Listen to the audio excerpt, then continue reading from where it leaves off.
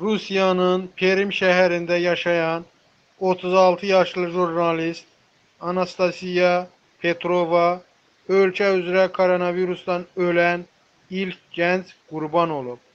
İlk dəfə qızdırma və öskürəyə görə həkimə müraciət edən Anastasiyanın analiz cavabları müsbət çıxıb. Martın 23-dən 28-nə qədər xəstəxanada qalan jurnalist müalicə aldıqdan sonra yaxşılaşıb. Yenidən onunla bərabər övladları və anasından da analiz götürülüb və hamısının cavabları neqativ olub. Lakin cavablardan 8 saat sonra Petrovanın qəfil halı pisləşib və yenidən qızdırması qalxıb. Bundan sonra o həyatını dəyişib.